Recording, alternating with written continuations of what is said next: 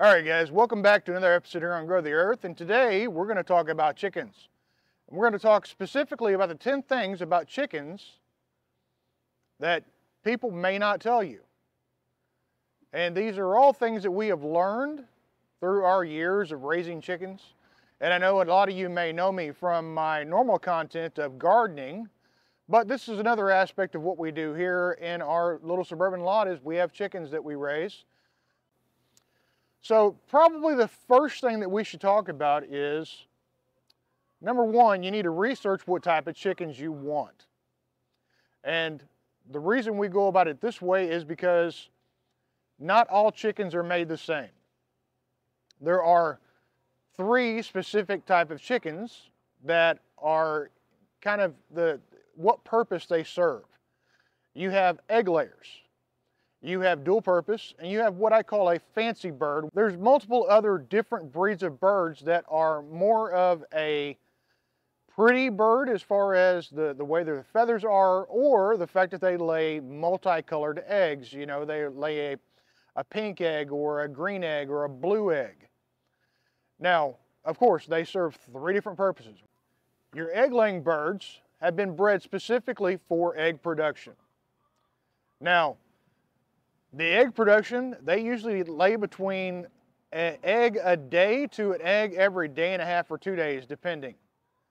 Now, this all depends on their happiness and, and all these other things. Uh, there is a trade-off though, is an egg-laying bird, they're not going to lay that amount of eggs for very long. The second type of bird is called a dual-purpose bird, which means that you can take this bird and you can raise it specifically for, you know, chicken that you're going to eat, or they're actually really good at laying eggs. The majority of what we have here on our little uh, our little homestead per se is we have dual purpose birds. Uh, we find that they tend to lay eggs for longer and um, you know they're just going to be a, a more robust kind of bird. Um, we don't have any of what I call fancy birds because the purpose for us having birds is to have eggs and we want that to, you know, be as productive as possible without actually causing any kind of harm to the bird. Um, and that's, you know, one of the things you need to look out for. Uh, your egg laying birds, the ones that are strictly made for production, uh, they usually have a shorter lifespan they, uh, what I call egg out faster, and they uh, are also, they, have tend, they tend to have more physical issues uh, with, uh, as far as their reproductive parts. Um, they get egg bound more and uh, they also tend to, to have issues with actually producing those eggs because they have been bred to do nothing but make eggs. Um, Another thing that is, is kind of along in this same realm of doing your research on your birds is your heat tolerance and your cold tolerance. Even most birds that are considered heat tolerant don't do well down here in southeast Texas. Uh, the heat is here is just stifling and in certain ways we have to take certain uh, measures to make sure that our birds are fine whenever the temperature is reaching to 100 degrees. Um, because, you know, you've got a, an animal that has a bunch of feathers all over it. Now, on the reverse side of this, you have other birds that are more cold tolerant. Um, and those are going to tend to be birds that have uh, a thicker down layer underneath their feathers. And so depending on where you are in the great United States, one of those two is going to be more important to you. You know, do I need a bird that's going to tolerate the cold because we get down to, you know, negative 30? Or do I need to worry about a bird that's going to be more heat tolerant because it is going to get to 100 degrees, you know, for most of the summer? So that's something that, that um, you know, you need to kind of research for yourself as to which type of birds are going to be best for your environment is just because your local big box store, and when I say your big box store, I'm talking about uh, here in Texas, we have a tractor supply. I know that um, Uh, we also have uh, Steinhauser's down here in Texas. Uh, it's more of a local place, but they have a lot of locations, so I consider them kind of a big box store. Um, because those stores are not buying the birds that are going to necessarily be best for your area. Um, you have some guy sitting up in a corporate office who is buying birds from a large chicken farm, and they're going to be what they can get the best price on, and because they get better prices on quantity. So he's going to pretty much buy the same bird for Texas as he is for Washington. Uh, so again, do your research on the type of birds. Not just because they're offered in your area at a local big box store doesn't mean that they're going to do well in your area. Uh, you can kind of stave off a lot of this research per se if you go to a local grower who actually has their chickens that they grow in the area and that they sell in the area because they're going to know which ones are going to do better for you know the area they're, they're going to know which ones they're going to be very knowledgeable on what type of bird that you're looking for once you tell them what you're you know hey i'm looking for a bird who's going to make good eggs and is not going to you know be egged out in two years and they're going to know, okay, well, you want this type of bird. They do well in the heat. They do well in this area. They're going to lay eggs for you for quite a long time. And, you know, you're going to have, you're going to be more informed by going to your local grower who's going to grow those birds. Our third things that we're going to talk about right now is going to be shade.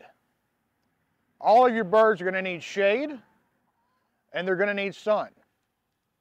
But if you look like we're down here in Southeast Texas, Shade is probably a bigger need than sun because these birds are going to get hot and they've got to get an area to cool off. Uh, and typically, uh, you know, like we have a, a, bucket of water back here to let them get some water while they're in the shade. That way they don't have to go to where the coop is to get that shade. So uh, definitely they need shaded areas and they need sunny areas because they're going to serve different purposes. Um, and they're going to serve different purposes at different times of year. Um, this also kind of goes along with our fourth thing, and that is going to be they are going to need an area to dirt bath. Now, I will tell you, if you don't make them an area to dirt bath, they're going to make it themselves. And that will include tearing up your lawn or any number of other things. They're going to find an area to do a dirt bath in. Now, this works uh, Chickens have done this for centuries. It's part of their natural mechanism to guard against pests that actually get on them. We're going to discuss that in a little bit later. Um, and also they, uh, they do this because it kind of helps them cool off because they're going to basically dig a little, a little uh, area into the ground. They're going to lay in it and they're going to throw that dirt up on them. Uh, it's kind of a funny thing to watch because they'll actually lay there and they kind of, you know, flare out their, their wings and then they start kicking this dirt with their wings up on themselves. Um, and you'll also find them kind of splayed out. They almost look like they're dead whenever they're laying there. Uh, we call it dead chicken because they're pulling a dead chicken because they'll be laying on their side with one leg kicked out and they'll have the other you know, their other wing kind of laid back behind them, and it's, it's just an odd thing to see for the first time when you come out and look at your chickens who are dirt bathing. The fifth thing goes into when you're buying your chickens. Now, if you're going to your local big box place, more than likely you're only going to see hatchlings, little baby chickens that you're going to put a, have to put a lot of time and effort into into bringing them to the point to where they're going to lay eggs because most chickens are not going to lay eggs until they're about six weeks old. Now, that doesn't sound like a lot of time, but there's a lot of care and a lot of feed and a lot of things that go into that to get them to that point to where they're going to start laying eggs.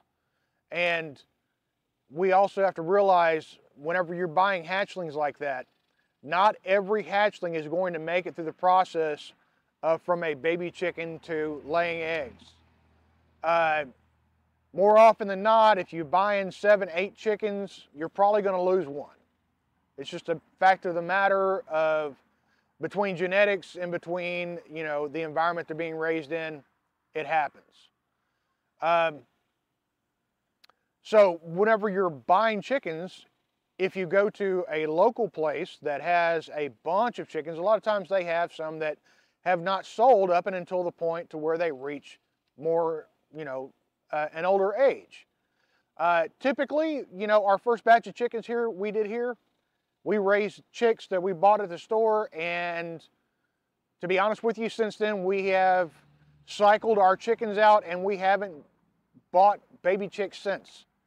It's a lot of uh, effort and we have a local place here that we can buy chickens from that are three, four, even six weeks old. And we don't have to go through that process, that hassle, all the extra equipment, all the different feed and all that kind of stuff. And the, the sixth thing that we're going to talk about is, is your actual feed. Uh, just because you're buying laying hens does not mean that they need layer feed from the day that you buy them. Uh, if you have baby chicks, they need to be on starter feed or they need to be on broiler feed. Actually feeding them laying feed too early into their life can actually cause them harm. Um, it actually brings up another thing of when is it time to switch over from your starter feed or your broiler feed into a into a laying hen feed and it's really i would say it's kind of easy to figure out as to when they're going to be ready to lay because whenever you get near a chicken if you can put your hand over the top of them they will squat down. If they squat down that means two things. Either they are very close to laying or they are already laying eggs. A normal chicken who is not of laying age will basically run away from you or will just stand there and wait for you to basically pet them. So if you see your, your chicken starting to squat that you have raised from a chick, then that point right there is probably the time that you need to start switching over to a laying feed because they're going to be laying in the near future. Or if you're buying an unknown age of a bird, simply check, do they squat? If they squat, they're already laying, we can go straight to a laying feed and we're good to go. Well, let's talk about our seventh thing is, and that is the environment. Are you going to have your chickens caged the whole time? Or are you going to let them free range?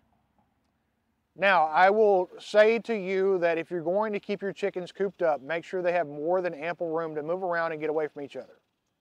You will have chickens that are going to try and fight and, and uh, deal with each other because there is a hierarchy to your chicken brood.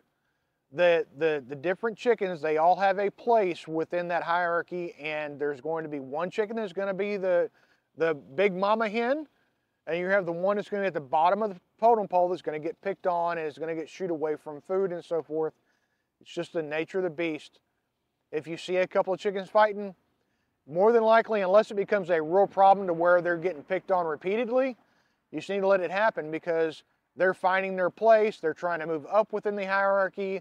They're getting pushed down within the hierarchy. It just kind of depends on what chicken you're looking at.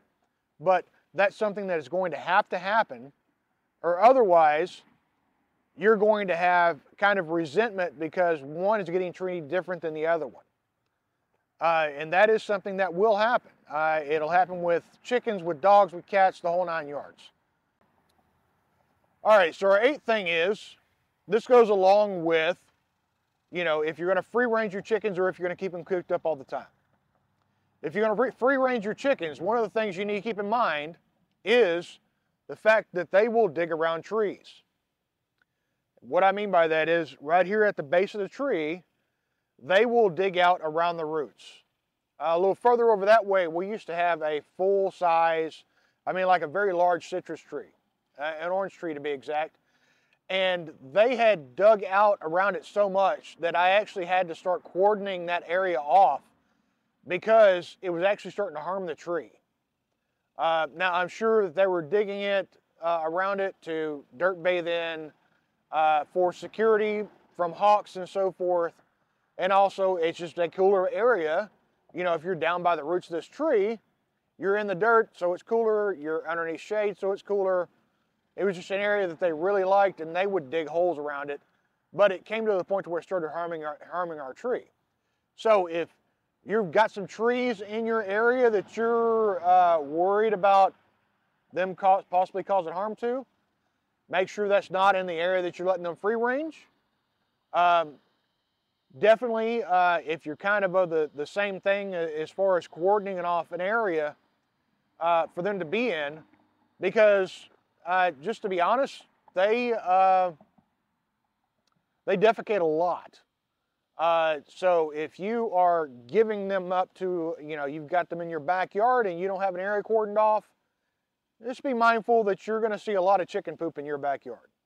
So if you kind of give them an area to inhabit, then you you know what you're dealing with going into the area and it's not your whole backyard or it's not everywhere that you may be. Now our ninth thing that we're going to talk about is chickens and the fact that um, if you're a little squeamish about what chickens might eat, you're you're gonna uh, you're gonna have some surprises. Now, chickens are omnivores, meaning they will eat grass, they will eat meat. It, it doesn't matter; they eat anything. They're they're like a little baby raptor. Okay, um, if there are any bugs, if there are any butterflies, if there are any dragonflies, if there are any lizards, uh, baby birds uh, is a one that was pretty awesome that we didn't realize that they would eat. Um, they will eat all of that and they will chase it down and, and eat it. They're, um, they are very voracious whenever it comes to things like that. Um, we've actually had a couple of toads that uh, fell victim to our, our chickens. Uh, like I said, a baby bird, uh, many small little uh, lizards and geckos. They weren't quite quick enough to get back up the wall. Um, so if you're at all squeamish about seeing an animal eat another animal, you might want to steer clear of chickens because they will eat most anything that they can get a hold of and they just will, um, yeah, so if, if you have a herd of, a, a, a brood of chickens and you look out the back or you look towards them and you have one that is running and all the rest of them following it, they probably got one of those things. They probably got a, a, a lizard or a, um, or a toad or one of those things that the other ones want. So the 10th thing that we're going to talk about is pest. Chickens have about three different major kind of pests that can get on their body and can actually cause them quite a bit of harm. Those are fleas, ticks, and mites. Now, we have dealt with fleas and we have dealt with mites. We've never dealt with any, dealt with any ticks here, but all of these pests, if not kept in check and not taken care of, can cause a lot of different ailments with your chickens.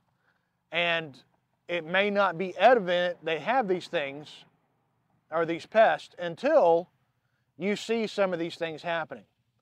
Uh, they'll get scale leg, they'll get, uh, they'll start losing weight. They can actually come to the point of dying because of certain things, certain uh, other diseases they can get from these pests. Now, your dirt bath is where some of that is going to come in. That's going to help them keep some of these pests in check. The sunlight is going to do the same thing. Um, and some of it is going to come down to your own remedies to help them along with those things. And that is um, a free-ranging flock is not going to be as susceptible to these things because they have all these other mechanisms that they can lean on. Uh, but if you have a caged flock, a flock that spends most of their time inside of a, a chicken coop, inside of a, a run, then these are going to be more things that you're going to have to keep an eye on. You need to check your chickens and make sure that they don't have these things.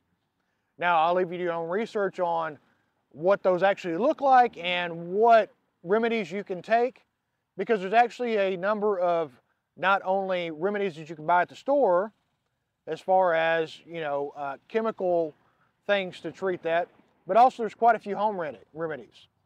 Now, if I see a lot of interest in this video, I'm going to make another video as far as home remedies for these things that can affect your flock. And uh, I'd like for you to let me know that those uh, are, this is something that you want to see. Now, one thing that I was not told about, and this is kind of a bonus thing uh, that I didn't get to really touch on in our 10 things, I kind of talked about it, but I didn't really say it. And that is that every bird has a egg laying span. With certain breeds, it's longer than others. Most of your egg laying breeds is roughly two and a half to three years. On most dual purpose birds, it's going to be closer to four to five years. And what I mean by that is that their, their actual egg production is going to slow down to the point to where eventually they're going to stop laying eggs. This is why you need to have your flock in rotation because you either need to say, okay, well, those are the older birds, they're going to be here, but we just don't expect any eggs out of them. Or we need to slaughter those birds and bring in some new birds that are going to take over egg production. It's just a matter of, you know, matter of having chickens and their life cycle and the things that happen whenever you have chickens. Um, unfortunately, like in your um, in your egg laying industry, uh, those chickens are now something that I, I, kept alluding to within this video, but I never actually talked about was a chicken egging out. What I mean by that is, is chickens, depending on their breed, have got a certain amount of years that they will produ produce eggs. Now, depending on the breed, egg laying, you know, breeds specifically made for egg laying, have got about two to two and a half years to where they're going to produce eggs consistently until they start tapering off to a point where they just stop laying eggs altogether. Your dual purpose birds are going to lay for four to five years and then after that they're going to start tapering off again until they just stop producing. Uh, I can't speak to the other varieties of birds, you know, the, the fancier birds, the ones that lay the colored eggs because I'm not, I'm just not familiar with them. We don't raise them, we raise our chickens to, to make eggs. And what that means is either you've got to do one of two things. Either you have to cull those uh, birds out of your flock, or you just have to concede the fact that, you know, hey, they're a part of the flock, but they're just not going to produce any eggs for me. Um, the typical lifespan of a chicken, no matter what breed, uh, on the high end is seven, eight years. On the low end is three and a half to four years, depending on the breed. So that's something that you need to protect, prepare yourself for as an owner of chickens, you know, as somebody who has chickens for eggs or whatever your purpose is for. Now, the better way to get the most bang out of your chickens is a happy bird is a laying bird. So during the summer months when it gets hot, they're probably going to have a little more stress on them and they're going to reduce production if you get into the hundreds like we do. Um, if you're uh, in the, the colder climates and you add supplemental light, eventually those birds are going to go through their time, which they would consider winter, to where they do not uh, produce eggs because the chicken's life cycle is based on their lighting. They have times when they lay eggs because they're laying eggs in spring and in summer to have their chicks before the fall and the winter. And that is all done off of sunlight. So if you add supplemental light, they're still going to have that time to where they're going to go off time and not lay as many eggs, but you're just pushing that time out and also you're running your chickens out of eggs faster. So, you know, that's something to keep in mind. That's something to, to um, you know, ponder about. If you've had really, really good laying chickens and then all of a sudden they stop laying, we need to look at their environment. You know, is it getting hotter? Is it getting cooler? Is there uh, something around us that has changed? Is the the neighbor starting to build on in addition to his house and has a lot of construction around? to where the noise is increased? Um, did the city come through and put a, you know, a bigger road by your house, which is making more traffic? you know, all of these things can play into whether or not that chicken is going to lay eggs and whether or not it's going to be happy and lay good eggs for you. So guys, I appreciate your time. I appreciate you coming and, and spending time with me. And as always, I ask you to pray over your family, pray over your chickens, and have a great day.